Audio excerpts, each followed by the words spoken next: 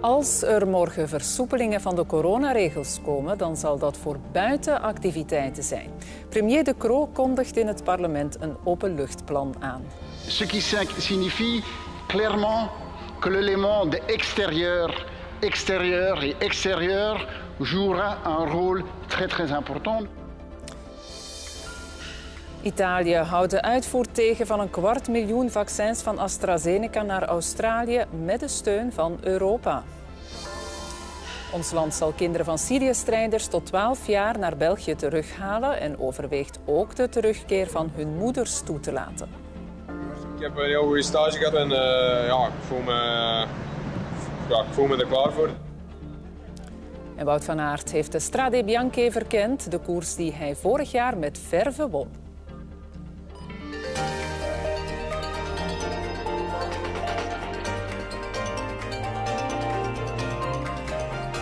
Het is 7 uur. Dit is het journaal met Annelies van Herk. Heel goedenavond. Terrasjes weer open tijdens de paasvakantie. Het is een uitdrukkelijke vraag van de kustburgemeesters. En ze komen wellicht niet toevallig met hun vraag een dag voor een nieuw topoverleg over mogelijke versoepelingen van de coronamaatregelen. Tijdens de paasvakantie, dat is over goed vier weken, verwacht de kust opnieuw veel volk, net als tijdens de krokusvakantie. De terrassen openen zal volgens de burgemeesters de massa beter spreiden. Niets mistroostiger dan de Belgische kust bij mist en regen. En toch denken ze hier al aan mogelijke massa's toeristen in de paasvakantie. Tijdens de krokusvakantie was het ondanks de druktebarometer bij momenten meer dan gezellig druk. Het werd gevaarlijk druk. En dat willen de kustburgemeesters niet meer meemaken. We stellen vast dat dat eigenlijk onveilig is en dat het wellicht beter zou zijn dat de terrassen van de horecazaken op de zeedijk in de onmiddellijke nabijheid zouden kunnen opengesteld worden. Weliswaar in een veilige modus. Dat betekent dus met tafeltjes maximum vier personen of alleen de familiale bubbel, voldoende afstand van elkaar. Eenzelfde geluid in Oostende, waar ze het beu zijn op te draaien voor de extra kosten stadsteam, eh, stadswachten, eh, sanitair, eh, onderhoud enzovoort. Ja, de kosten beginnen op te lopen, ook voor de gemeenten en de steden.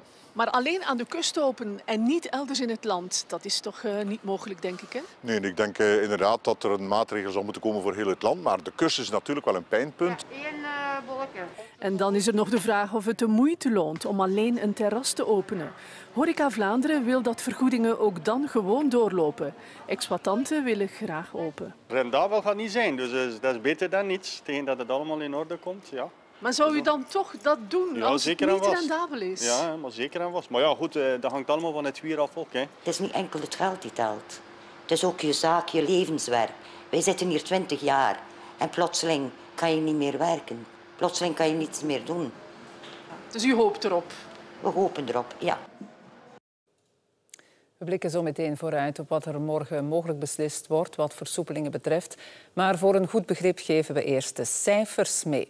Op dit moment hebben 540.256 Belgen minstens één dosis van een coronavaccin gehad. Dat is 5,8 procent van de volwassen bevolking. De andere curves dan, de stijging van het aantal besmettingen, die vlakt opnieuw wat af. Er is nog een stijging, maar die is met 8% minder fors. Gemiddeld zijn er afgelopen week elke dag 2386 nieuwe besmettingen bevestigd. De ziekenhuisopnames zijn met 20% gestegen tot gemiddeld 152 elke dag. Er liggen 1901 covid-patiënten in het ziekenhuis. 434 van hen die liggen op intensieve zorg. En er sterven elke dag 25 mensen aan COVID-19 in ons land. Is er met deze cijfers ruimte om te versoepelen? We vroegen het aan biostatisticus Geert Molenbergs. Hij is genuanceerd. We doen het al bij al niet slecht, maar elke maatregel die we loslaten zal de curve weer doen stijgen, zegt hij. Ieder heeft zo zijn wensen in deze periode, zeker de getroffen sectoren. Chris is uitbater van een koffiebar in Leuven. Hij vraagt vooral een klare politieke lijn. Ik denk dat we waarschijnlijk nog niet gaan versoepelen. Ik hoop natuurlijk van wel, maar ik wil vooral een beetje duidelijkheid. Paco werkt in een groot bedrijf in de evenementensector. Ik zou graag hebben dat je terug op het terras mocht gaan zitten aan een café. Zoals dat ze nu eigenlijk al in de perken zitten, maar dan gewoon in een gecontroleerde omgeving. Dat moet zeker kunnen, aangezien dat je al naar de kapper mocht. Veel wensen voor versoepelingen, maar wat denkt de wetenschapper? Die blijft waarschuwen. Als we op een plateau zitten en we gaan fel versoepelen, het virus is het virus, het gaat maar één ding doen, dat is aan kracht winnen. Dat moeten we wel beseffen. En op een plateau zitten we. Al wekenlang gaat het aantal besmettingen op en neer zonder uitschieters. Het aantal hospitalisaties dreigde vorige week nog volledig te ontsporen, maar dat gebeurde niet. Kunnen er dan nu niet een paar kleine versoepelingen?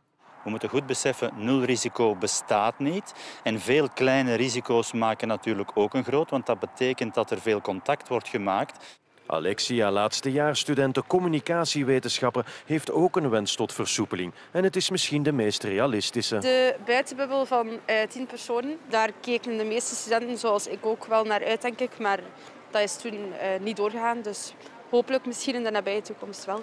De buitenbubbel dus, die ligt morgen vermoedelijk opnieuw op tafel. Het lijkt duidelijk wel een van de dingen die eerst op tafel zouden kunnen liggen, maar dat is aan hen. En hen, dat is de politiek. De wetenschappers blijven voorzichtig. Ja, de wetenschapper hebben we gehoord. Dringend tijd voor de politiek. En dan gaan we naar Bart Verhulst in de wedstrijd. Bart, goedenavond. Ja, dat overlegcomité van morgen dat voelt toch een beetje aan als een tweede poging om uh, versoepelingen te gaan doorvoeren. Nadat vorige week de pauzeknop was ingedrukt, voor een week dan. Um, ja, zal er nu wel iets beslist worden morgen, denk je? Normaal wel, tenzij er natuurlijk opnieuw slechte cijfers uh, opduiken. Hè. Maar laten we vooral hopen van niet natuurlijk. Nu, uh, veel versoepelingen hoeven we alleszins niet te verwachten. Het blijft dansen op een slappe koord. Hè. Wat kan er? Wat houdt er te veel risico in? En vooral ook, wat kunnen de mensen nog aan na twintig weken van die coronaregels? Op tafel ligt morgen eigenlijk hetzelfde als vorige week. En dan gaat het over mogelijke versoepelingen, bijvoorbeeld in het onderwijs. Mogen leerlingen in het middelbaar weer wat meer naar de klas? Mogen studenten aan hogescholen en universiteiten een kotbubbel vormen? Voor de horeca weet ik niet of er al een datum zal komen. En dan de vraag voor iedereen, mogen we met wat meer mensen elkaar buiten zien? Nu is de regel maximaal met vier. Dat wordt wellicht met 8 of met 10, maar mogelijk pas vanaf 15 uh, eh, maart. Dus dat dat nog even zou uh, moeten wachten. Premier De Croo spreekt uh, over een heus buitenplan. Dat zei hij vanmiddag in het parlement. Een parlement dat hij trouwens op een speciale manier begroette. Premier De Croo zegt goedemiddag in gebarentaal. Dankzij nieuwe tolken kunnen nu ook doven en slechthorenden via het internet volgen welke vragen de parlementsleden aan hem stellen. Onder meer over mogelijke versoepelingen van de coronaregels. Ont un risque qui est bien plus élevé que les activités qui se font à l'extérieur. Et c'est pour cela qu'on est en train de, de, de, mettre ensemble tous les éléments de quelque chose que j'appellerais un plan plein air. Maar vanaf wanneer zullen we dan bijvoorbeeld elkaar met meer dan vier mensen buiten mogen zien? Als de tijd rijp is, zegt de premier. Te vroeg versoepelen houdt risico's in. Daarnaast blijft ook het onderwijs prioritair. Als we versoepelingen kunnen in het vooruitzicht stellen, dan is de eerste prioriteit wat mij betreft ja, jongeren, gezinnen en dan denk ik inderdaad aan maatregelen in het onderwijs. Nog voor de paasvakantie of is dit eerder iets voor in het derde trimester? Ik denk echt niet dat we heel snel kunnen lopen. De uitweg blijft natuurlijk meer vaccineren en meer testen. Ook snelle zelftesten, zegt de premier. En vooral ophouden met te veel te beloven. Als we zelf een opbod van versoepelingen of van aankondigingen creëren. En als we die dan niet kunnen waarmaken, moeten we dan verbaasd zijn dat mensen teleurgesteld zijn? Moeten we dan verbaasd zijn dat mensen gedemotiveerd zijn? Ik mag ervan uitgaan in de komende dagen dat we begrijpen dat als we dat doen, dat we aan het falen zijn. Bart, er geldt in ons land ook nog altijd dat verbod op toeristische reizen. We zijn daardoor Europa zelfs voor op de vingers getikt. Zal dat verbod sneuvelen morgen? Nee, dat uh, geldt normaal tot 1 april en dat zal wellicht ook uh, zo blijven. De Europese Commissie had daarover inderdaad naar ons land een uh, ja, iets wat boze brief gestuurd om te zeggen dat dat ingaat tegen de regels van vrij verkeer van personen binnen de Europese Unie. Maar ons land heeft nu een brief teruggestuurd. Eigenlijk een beetje om te zeggen dat we niet echt onder de indruk zijn van die tik op de uh, vingers. En dat, die, uh, dat reisverbod op niet-essentiële reizen dat dat een proportionele maatregel is. En zelfs een steunpilaar is geworden van ons coronabeleid. Nu, na 1 april, net voor de paasvakantie dus, zal dat verbod wellicht wel uh, sneuvelen. Maar tegen dan moet er een nieuw en vooral beter systeem komen om wie terugkeert uit het buitenland te testen en in quarantaine te zetten. Dat zijn nu ook al de regels, alleen dat werkt niet zo goed. De informatie bijvoorbeeld stroomt niet genoeg door om maar iets te zeggen naar de politie om dat ook echt te gaan controleren. Maar alle regeringen van het land hebben nu een nieuw akkoord gemaakt in de hoop dat alvast te kunnen oplossen. Dankjewel Bart. En de rest horen we morgen dan. En onder welke voorwaarden reizen weer zou mogen vanaf 1 april. Alle georganiseerde skireizen voor de paasvakantie die zijn sowieso geannuleerd. Vervelend voor wie uitkeek naar de sneeuw en de bergen, maar vooral voor de reissector is het een serieuze streep door de rekening. Ik bel u eventjes op, meneer. U bent uh, met ons naar Hotel Sole, uh, de tweede week van Pasen. Nu ja, u zal het ondertussen al wel vernomen hebben. Die kan helaas niet doorgaan. Alles wordt geannuleerd bij Reizen Lauwers in Boeghout. Ook alle skireizen gaan eraan en dat is een streep door de rekening. Alle reizen zijn gereduceerd naar nul. Uh, dus dat wil zeggen dat er geen enkele reis voor de wintersportafdeling is kunnen doorgaan dit seizoen. Ja. Je kan het ook zien, hè. achter ons hier. Normaal zit het hier vol. Ons personeel is allemaal thuis, dus chauffeurs zijn thuis. Dus ja, we zitten hier eigenlijk bijna nog uh, met twee. Ze zitten hier met twee, samen met 35 lege bussen op de parking. Blijft voor ons ook raar. En ja. heel, uh, heel lastig. Ja, ons ja. hart bloedt dat we dat zien, dat uh, hier allemaal stilstaat. Want normaal is alles leeg. En is iedereen op de baan en moet dat hier gewoon weg zijn. Hè? 35 bussen die naar skigebieden hadden moeten gaan. Ook de 70 chauffeurs en de gidsen zitten thuis. Enkele bussen worden nu ingezet bij de lijn, maar het is een doekje voor het bloeden. Ook in de hal staan de bussen leeg te wachten op betere tijden. Het familiebedrijf haalt nog maar een schamele 7% binnen van de omzet in een normaal jaar. Van april 2020 tot nu hebben wij een omzetverlies van 93 procent. Wij hopen natuurlijk tegen de zomer uh, terug te kunnen starten. En uh, de focus ook te leggen op 2022, hè, want dan moet het wel boomen voor ons. Hè. Hoopvol naar de toekomst kijken, het is ook wat de luchtvaartsector doet. Want met alle lockdowns en reisverboden hebben ook zij er een dramatisch 2020 op zitten. De jaarcijfers van Brussels Airlines spreken boekdelen. Vorig jaar maakte Brussels Airlines een recordverlies van 293 miljoen euro. De maatschappij moest het afgelopen jaar ook zwaar herstructureren. Duizend van de 4000 banen werden geschrapt en 10 van de 48 vliegtuigen moesten weg. Om te overleven heeft Brussels Airlines geld geleend bij de Belgische overheid, 290 miljoen euro, waarvan goed 190 miljoen intussen is opgenomen. Het bedrijf maakt zich sterk dat het niet nog eens steun zal moeten vragen. We have withdrawn currently 190 million indeed of the state aid uh, loan. That's not the case that we used it already. So, uh, and we still have also 100 million still untouched at, on the Belgian government side. So this brings us in a position that we are convinced um, that we are able to survive this crisis. Yeah? So with this, um, we should be in a good position um, for the company. And there is currently not the question of survival. There is currently not any plans on our side to ask for additional help. De Europese Unie houdt de uitvoer tegen van 250.000 vaccins van AstraZeneca naar een land buiten de Unie. De vaccins zouden van Italië naar Australië gaan. Italië heeft dat tegengehouden en de Europese Commissie heeft zich daar niet tegen verzet. Er is onbegrip dat AstraZeneca-vaccins die in Europa gemaakt worden buiten Europa wil uitvoeren, terwijl de fabrikant minder dan beloofd levert aan de Europese lidstaten zelf. Het vaccin van AstraZeneca wordt in Nederland en België geproduceerd en vervolgens in flesjes gedaan en verpakt door bedrijven in Duitsland en in Italië. Rob Herbouwt, goedenavond. Hier willen we toch nog wel wat uitleg bij. Ja, de Europese Commissie had eerder gedreigd met dat te doen. Hè, zulke leveringen buiten de Europese Unie tegenhouden. Maar het is nu de eerste keer dat ze het ook effectief doen. Ja, sinds eind januari moeten bedrijven die in Europa vaccins produceren, voor ze die exporteren buiten de Europese Unie, daarvoor een vergunning vragen. En dan wordt er gekeken, brengen die leveringen, die, die export, de bestellingen die door Europese landen gedaan zijn, bij die bedrijven niet in gevaar. Tot nu toe verliep het allemaal zonder problemen. Er zijn al 150 vergunningen afgeleverd voor miljoenen dosissen die zijn uitgevoerd buiten de Europese Unie. Tot vorige week. Dan heeft Italië gezegd, ja, die 250 dosissen van AstraZeneca, die houden wij tegen, want de bestellingen die door Europese landen geplaatst zijn, die komen daardoor in gevaar. En de Europese Commissie, die dat in principe nog zou kunnen tegenhouden, die uh, Italiaanse beslissing, heeft dat niet gedaan. Dus ook de Europese Commissie is van oordeel dat AstraZeneca te veel vaccins uitvoert en dat dat ten nadele is van de bestellingen die door de Europese lidstaten geplaatst zijn.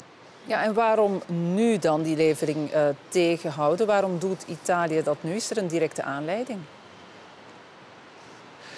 Wel, net uh, zoals bij ons is er ook in Italië heel veel ongenoegen over AstraZeneca, over het feit dat het bedrijf niet levert wat het beloofd heeft. En voor de toekomst ziet dat er ook niet zo, zo goed uit.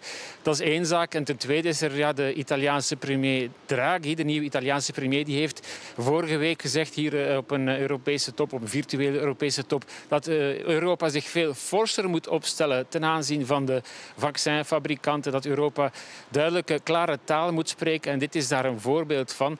Europa ligt onder vuur omdat die contracten met de vaccinfabrikanten niet stevig genoeg zouden zijn.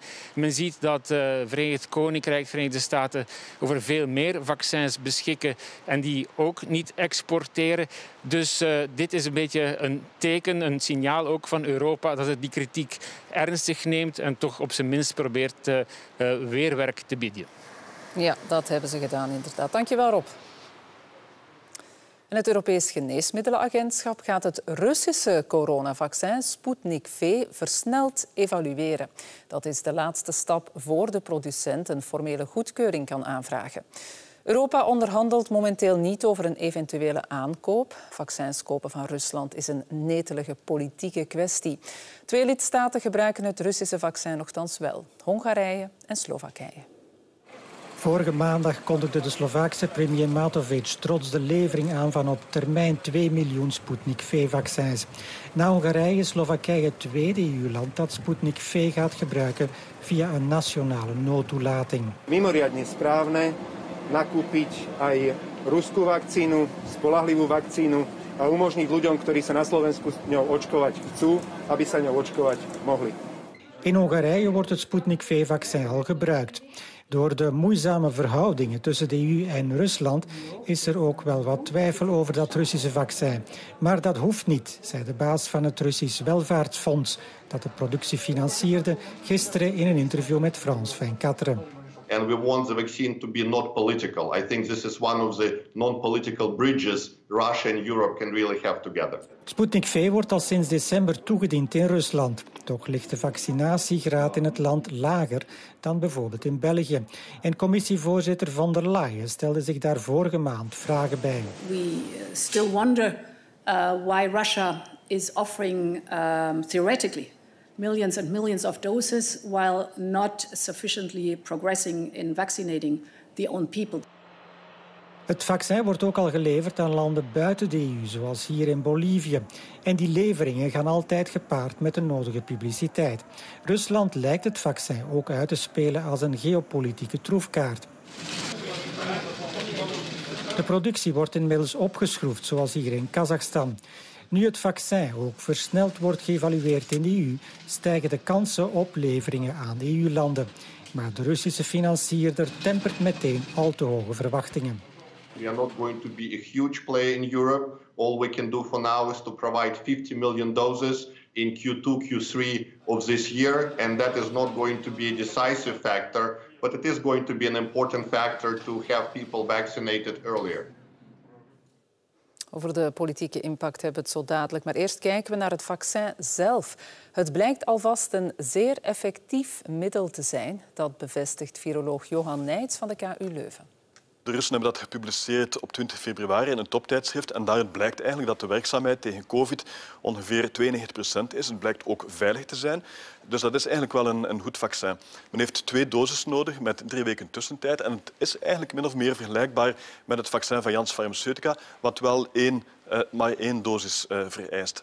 En natuurlijk is nu ook de vraag, zal men voldoende, dus als Europa het zou goedkeuren, zal men ook voldoende van die vaccins kunnen produceren? En onze Ruslandkenner Jan Baljouw is er even komen bijzitten. Ja, Jan, uh, Rusland lijkt gretig om die coronavaccins te verkopen. Waarom willen ze die zo graag verkopen? Ja, analisten hebben een goed product. Hè. Ze zouden dus gek zijn om het uh, in ieder geval niet te proberen. Maar het wordt natuurlijk ook geopolitiek uitgespeeld. Uh, Rusland is een grootmacht uh, zonder eigenlijk veel producten die kunnen concurreren op de wereldmacht. En met dit vaccin kunnen ze nu tonen dat ze met de beste mee kunnen. Vandaar ook de, al de publiciteit die gegeven wordt aan die leveringen aan andere landen. Maar ik denk dat er ook een economische noodzaak is. Want Rusland wil in mei al 50 miljoen dosissen per maand gaan produceren. Om in perspectief te zetten, dat is 600 miljoen dosissen per jaar. Dus voor 300 miljoen mensen, dat is het dubbele van de Russische bevolking. Uh, daarbij komt dat de vaccinaties in Rusland zelf maar niet op gang komen. President Poetin zei vandaag dat 4 miljoen mensen een eerste dosis hebben gekregen. En dat is een vaccinatiegraad die lager ligt dan in België. Dat komt omdat de Russen van nature wantrouwig zijn tegenover vaccins, maar ook tegenover Russische medische producten. En dat leidt er dus toe dat er eigenlijk in Rusland een overschot is aan vaccins. Bijvoorbeeld als buitenlander kun je je zonder problemen laten vaccineren. Het is niet gratis, het kost ongeveer 80 euro, maar het is wel mogelijk. Nu, die dat wantrouwen bij de Russen neemt wel af, zeker na de publicatie van de goede resultaten in de Lancet. Maar zolang de Russen zich niet massaal laten vaccineren op korte termijn, ja, is die export nodig om de productie op peil te houden van dat vaccin. Ja, dat zit dan anders met een overschot. Nu, het blijft politiek beladen. Wanneer de Europese Unie vaccins zou afnemen van Rusland, dan maken we ons afhankelijk van Poetin.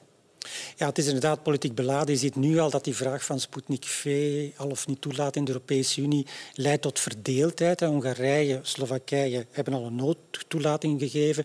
Tsjechië, Kroatië denken daarover na.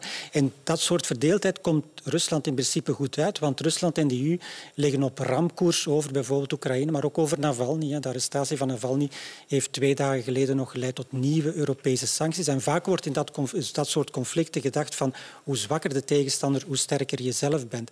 Daar komt natuurlijk ook nog bij dat je door die crisis kunt afvragen van in hoeverre wij ons inderdaad kunnen laten afhangen, onze gezondheid kunnen laten afhangen van leveringen van uh, vaccins uit Rusland. Rusland zou dat als drukkingsmiddel kunnen gebruiken.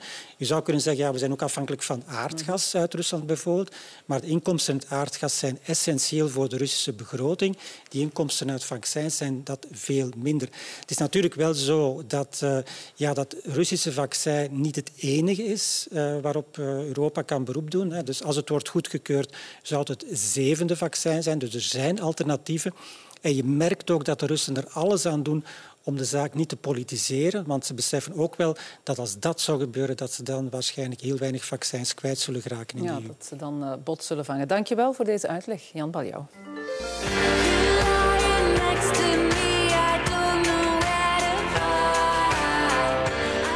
Straks luisteren we naar het nummer waarmee Hooverphonic voor ons land naar het Songfestival gaat. Het is vandaag voorgesteld en zoals dat hoort zijn de muzikanten zeker van hun stuk. Eerst verkeerschaos in Brussel door een actie van de zelfstandige taxichauffeurs. Met zo'n 800 waren ze. Ze kwamen actie voeren aan het kabinet van minister-president Rudy Vervoort. Ze blokkeerden met hun taxis een stuk van de kleine ring tussen Pacheco en de Billiardstraat. En dat gaf kilometerslange files. De zelfstandige chauffeurs, die vaak via de app van Uber werken, zijn boos omdat ze geen smartphone meer mogen gebruiken. Nochtans cruciaal voor een app. Kilometerslang blokkeerden de limousinetaxis een deel van de Brusselse kleine ring. De politie sloot zijstraten af, met als gevolg dat bestuurders ook in de Brusselse tunnels vastzaten. Want de limousinechauffeurs zijn boos. On se voit aujourd'hui puni. Pourquoi on manifeste uh, une, premièrement pour ça. Door een juridische uitspraak mogen de zelfstandige limousinechauffeurs geen klanten meer ronselen op straat. Dat deden ze bijvoorbeeld via het platform Uber. Klanten geven via een smartphone aan dat ze een rit nodig hebben. De chauffeur gaat hen oppikken en dat mag niet meer. Il faut encadrer Aujourd'hui, les applications, il n'y a rien à faire. C'est ce qu'on vit aujourd'hui. Ouais. On n'est plus à l'époque de 1995. De telefoon, de applicatie wordt tegenwoordig gebruikt. Okay. Voor de banking, voor de corona zelfs om, om waarschuwingen te geven. Voor, om vluchten te boeken. Ja. Waarom? Het is alleen maar voor ons. De Brusselse minister-president Vervoort zegt dat hij voor de zomer een oplossing uitwerkt voor de hele taxisector. Voorlopig zijn de limousinechauffeurs gerustgesteld. Ons land wil Belgische kinderen tot 12 jaar en eventueel hun moeders die vastzitten in IS-gevangenenkampen in Syrië terughalen naar hier. Dat heeft premier De Croo gezegd in de Kamer. De situatie in de kampen is erg verslechterd en IS is er heer en meester, zegt de premier. De regering wil naar eigen zeggen handelen in het belang van de kinderen. Als je kinderen daar laat, in kampen waar IS feitelijk de plak zwaait, dan zijn die kinderen de terroristen van morgen. En dan mogen we dat niet laten gebeuren. De premier is duidelijk. Het is in ieders belang om de kinderen van Syrië-strijders terug te halen, vindt hij. In totaal gaat het om 13 moeders met hun 27 kinderen die nu vastzitten in Al-Rosh en Al-Hol, twee Koerdische gevangeniskampen in Syrië. De regering wil vooral de kinderen terug, dus noods zonder de moeders als zij en de Koerden dat toelaten. Maar voor elke moeder zal wel bekeken worden of ze eventueel ook mee kunnen. Pas nadat een veiligheidsanalyse onomstotelijk vast heeft laten stellen dat zij de IS-ideologie volledig verlaten hebben, daar afstand hebben van gedaan, pas dan kan overwogen worden hen met kinderen te laten terugkeren. Het wordt natuurlijk afwachten of al deze woorden ook daden worden. N-VA is kritisch. U zegt, zij die echt spijt hebben, die kunnen we terug gaan halen. Wie gaat daarover oordelen? Op zes jaar tijd zijn die vrouwen nog door geen enkel Belgische ondervragingsploeg uh, ondervraagd. Zeker is wel dat alle vrouwen bij aankomst opgepakt zouden worden. Negen zijn al veroordeeld, vier zijn aangehouden en worden normaal vervolgd. Morgen brengt paus Franciscus als allereerste paus ooit een bezoek aan Irak. In Irak wonen vooral moslims en toch ligt er ook de bakermat van het christendom. Maar de laatste jaren zijn honderdduizenden christenen vertrokken uit Irak op de vlucht voor oorlog en vervolging. Samen met enkele van de laatste gelovigen in de hoofdstad Bagdad kijkt ook een Belgische pater uit naar het pausbezoek. En Rudy Franks ging de man opzoeken. Werken tot op het laatst. Gaten dichten in de weg, verlichting aanleggen in een verwaarloosde buurt, want er komt hoog bezoek. De paus van een kerk in nood. De klokken zwijgen al lang hier. Zeker 20 jaar dat ze niet meer ge geluid heeft. Omwille van de moslimen. Ja. ja. Een beetje net schrik eigenlijk. Net schrik, ja. Pater van Vossel uit Beveren is hier al meer dan 50 jaar. Hij toont zijn kerk, ooit het doelwit van terreur. Hij heeft geluk gehad bij nog een aanslag. 58 doden, allemaal christenen.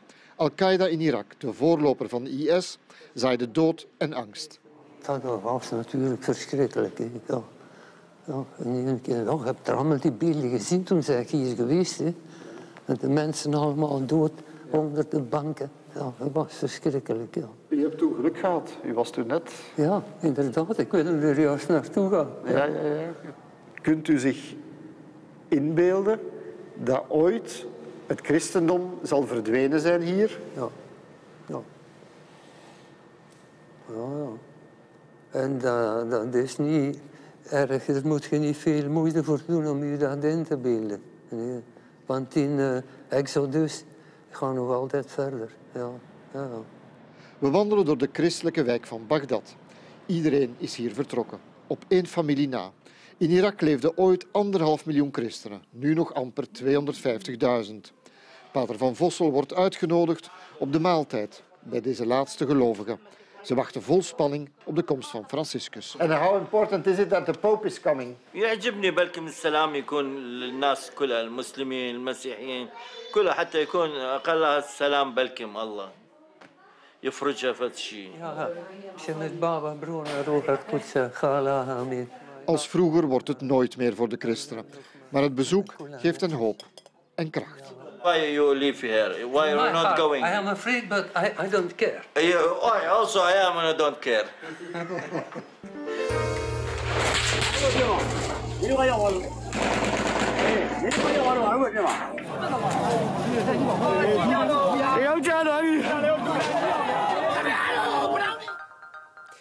In Myanmar gaat het hard tegen hard. De bevolking blijft op straat komen tegen de militaire machthebbers. Ook al worden ze geconfronteerd met meedogenloos geweld van de politie. Gisteren heeft de politie zeker 38 burgers doodgeschoten. Mensen die ongewapend en vreedzaam aan het betogen waren. En vandaag vielen er alweer verschillende doden. Een moeder huilt hartverscheurend bij het zien van haar dode zoon in een ziekenhuis vlakbij de hoofdstad Yangon. Eén na één worden de dodelijke slachtoffers hier binnengebracht na het bloedbad van gisteren met 38 doden.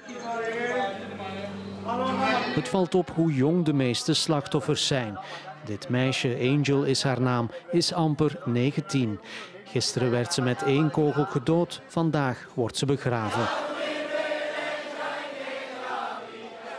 Angel is het symbool geworden van dit protest. Op het ogenblik dat ze neergeschoten werd, droeg ze een t-shirt met daarop alles komt wel goed. Even if they kill one friend, we will be coming more more people. Yeah, and also like, like we said, we announced um, they are no military, they are no police, they are terrorists. They even use snipers, you know, to kill the innocent civilians. We don't have, we don't have any weapons. De spiraal van dodelijk geweld houdt de jongeren ook vandaag niet tegen. Als journalist is het onmogelijk om Myanmar binnen te geraken, maar ondanks de controle over het internet kunnen we praten met enkele jonge betogers in het land. Uit schrik voor het regime willen ze onherkenbaar blijven. Of course, we are afraid of these um, these brutal ways and like these life ammunition. But for uh, for but for for what we believe, we will do like until we die. Until you die, you say? Yeah, yeah. Because we want freedom. Because we want real freedom. Because we have we have been ruled by the military over 60 years, and we want to end this right now. De relaties tussen het Britse Koningshuis en prins Harry en zijn vrouw Meghan Markle zijn helemaal verzuurd. Buckingham Palace start een onderzoek naar pestgedrag van Meghan Markle tegenover haar personeelsleden twee jaar geleden toen het koppel nog in het Verenigd Koninkrijk woonde. Intussen hebben Meghan en Harry een interview gegeven aan de Amerikaanse tv-ster Oprah Winfrey. Al heel snel na haar aantreden in de Britse koninklijke familie kreeg Meghan Markle de bijnaam Duchess Difficult. Haar zeer directe Amerikaanse aanpak botste op de omzwachtelde en langzame geplogenheden van de Britse hofhouding. Ze was niet enkel een veeleisende werkgever, maar vertoonde ook ronduit pestgedrag, schrijven de kranten nu. Twee personeelsleden namen ontslag, anderen voelden zich geterroriseerd en vernederd. Er dook ook een mail op waarin Megans toenmalige perswoordvoerder de kwestie intern bespreekt. Het koppel ontkent de beschuldigingen furieus. Volgens de BBC hadden die ontslagen hier niets mee te maken en is de timing ook erg verdacht. Zondag zendt de Amerikaanse zender CBS een uitgebreid interview van Meghan en prins Harry met Oprah Winfrey uit. Daarin haalt Meghan fel uit naar de hovelingen die mede de oorzaak zijn van de breuk met het koningshuis. Don't know how they could expect that after all of this time we would still just be silent if there is an active role that the firm is playing in perpetuating falsehoods about us. And if that comes with risk of losing things, I mean I've there's a lot that's been lost already. Buckingham Palace zegt dat het pestgedrag op het werk zeer ernstig neemt en de zaak grondig zal onderzoeken. Nog even zeggen, het interview van Oprah Winfrey met Harry en Meghan is ook bij ons te zien maandagavond hier op 1. Sportnieuws, Katrien. Komende zaterdag, dat wordt weer snoepen voor de koersliefhebbers met die mooie koers in de Toscane, de Strade Bianche. Ja, die prachtige wedstrijd. Overmorgen is het zover. En de titelverdediger is er klaar voor, Wout van Aert. Met de Strade Bianche over de grindwegen van Toscane begint hij aan zijn wegseizoen. Van Aert was er nog niet bij in het Vlaamse openingsweekend.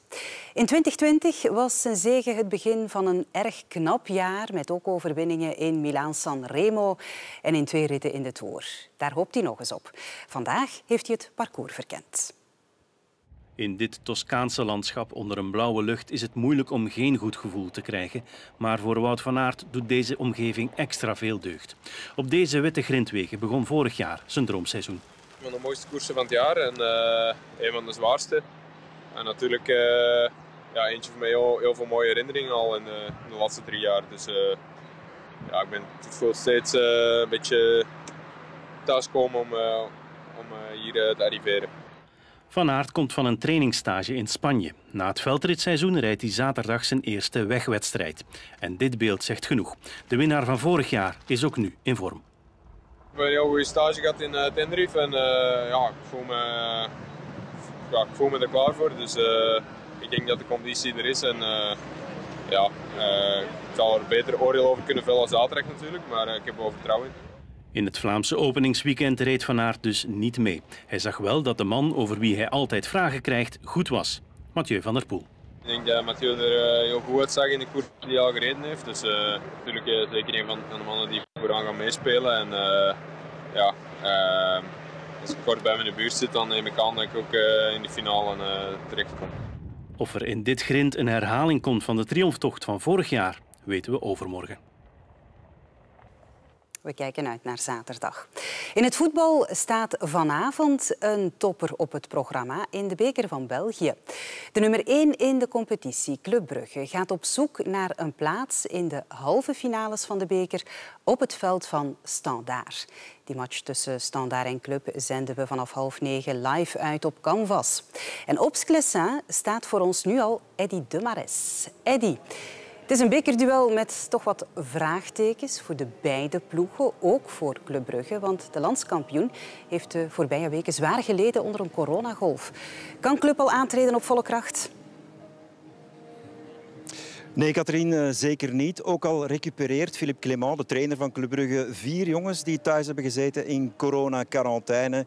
Uh, maar van die vier komt er maar één aan de aftrap, Hans van Aken. En de vraag is hoe wedstrijdfit die eigenlijk al is na amper een paar dagen training weer op de club. Noah Lang zit ook op de bank, dus die kan eventueel invallen. Maar ook hij zal slechts hooguit een deel van de match dus uh, kunnen spelen.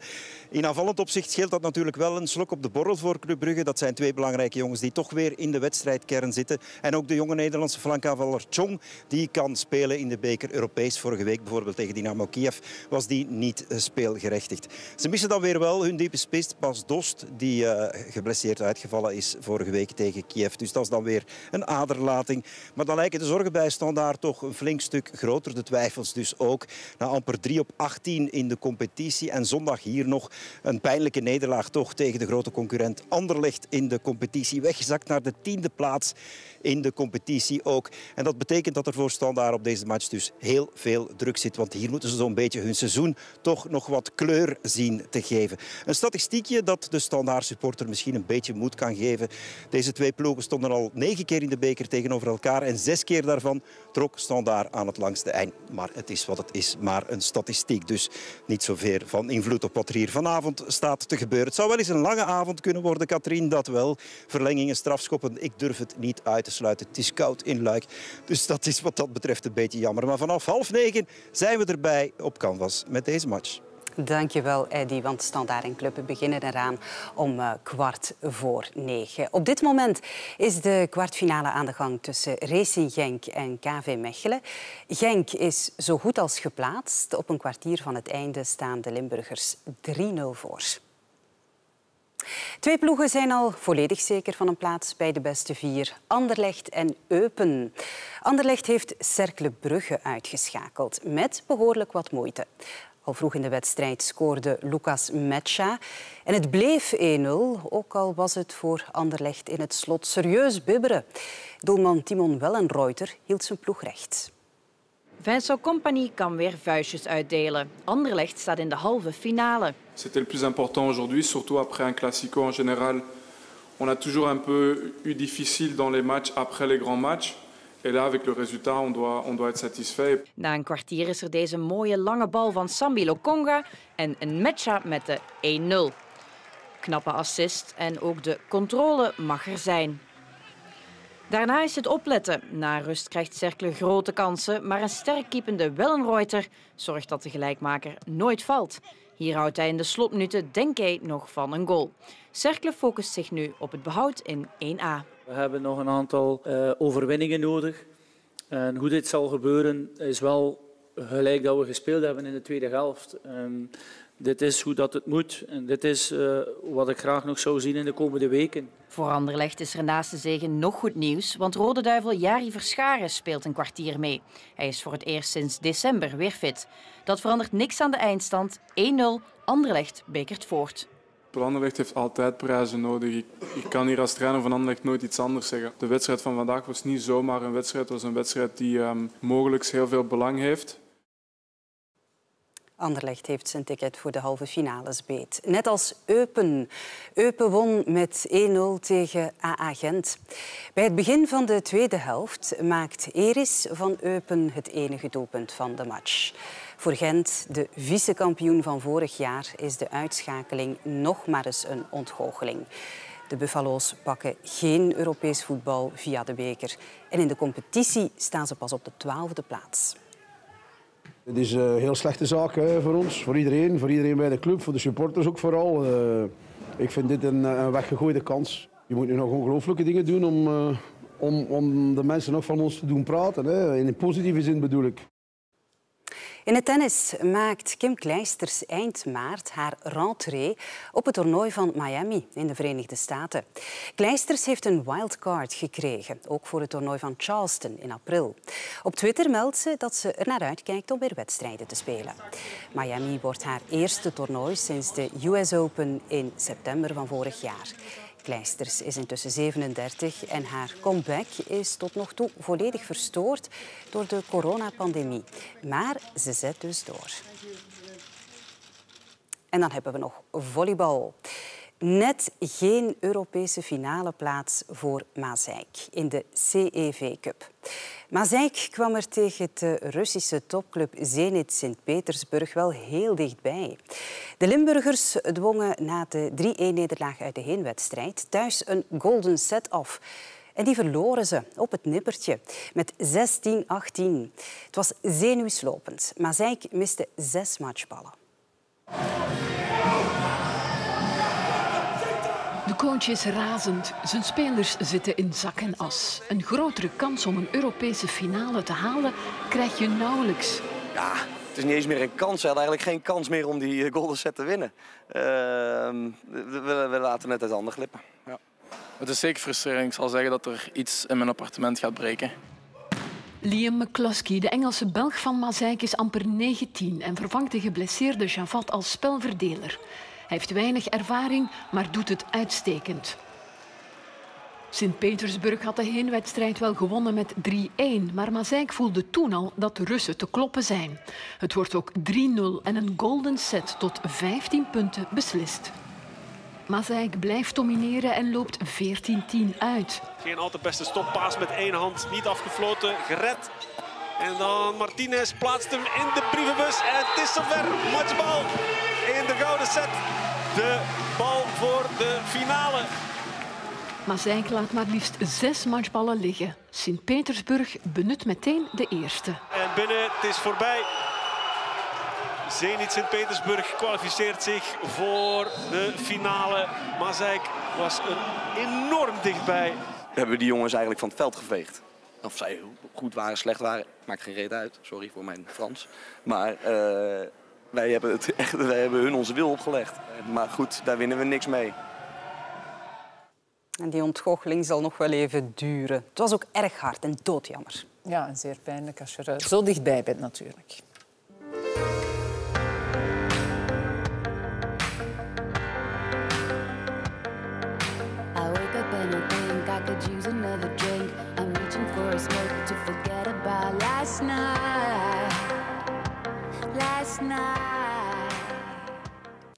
The Wrong Place, zo heet het nummer waarmee Hooverphonic een tweede kans waagt voor ons land op het Songfestival in mei.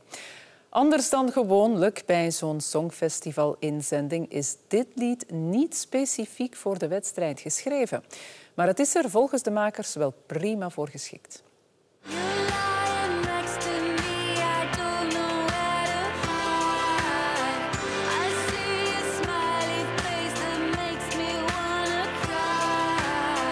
The Wrong Place gaat over een one-night stand die slecht afloopt. Het is een typisch Hooverphonic nummer. Het moet een nummer zijn dat, dat instant binnenkomt. Dat is nu eenmaal zo. Uh, je krijgt maar één kans. Dus, uh, en dit was voor ons echt wel de perfecte combi tussen uh, ja, echt trouw aan onszelf blijven en toch een catchy nummer te maken voor Eurovisie. Ja, ik heb het al een paar keer gedaan ondertussen. Het voelt heel, heel die, juist. Die, ik vind die het one heel night fijn. stand gone wrong? Of, Uh, nee, ik, uh, ik, uh, ik speel graag die rol wel. Minstens even belangrijk als het lied is de act. En die wordt bedacht door het duo achter de Nederlandse winnaar Duncan Lawrence. De eerste keer zo kennen, dan kreeg je zo een, een, een computeranimatie te zien. Zo. Dan moet je nog wel wat verbeelding hebben. Maar zelfs toen had ik al in de mod van oké, okay, dit is wel heel tof. Heel cool. Of Hooverphonic live zal optreden op het Songfestival hangt af van, jawel, corona. Maar er is een plan B. Elk land moet de act al op voorhand opnemen. Stel dat er iemand van ons COVID zou krijgen of iemand niet zou kunnen gaan met hem ziek dan uh, willen ze een backup uh, plan. En dus we hebben het al in Paleis 5 deze week opgenomen. En dat was wel best spannend. Ja, het ziet er keigoed uit. The Wrong Place, opmerkelijke titel ook wel voor ons Songfestivalnummer. We, we voelen ons niet in the wrong place op het Songfestival, laten we daar duidelijk over zijn.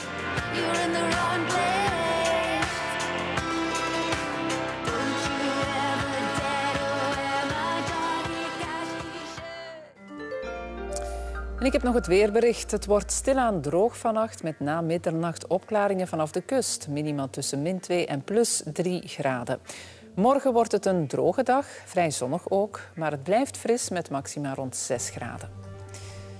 En we openden met een vooruitblik op het overlegcomité van morgen over de coronamaatregelen. Grote versoepelingen zitten er niet in. Er wordt wellicht wel wat meer mogelijk in de open lucht. Bedankt voor het kijken, geniet nog van uw avond en tot morgen.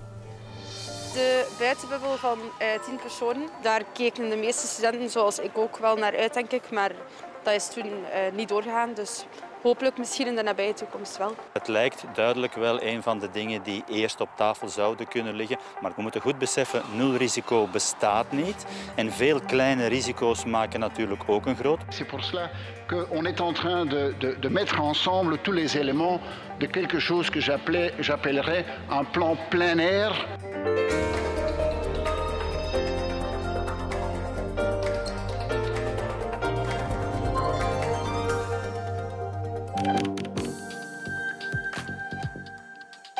Stel nu zelf je persoonlijke nieuwsoverzicht samen met Mijn Nieuws in de gratis VRT Nieuws-app.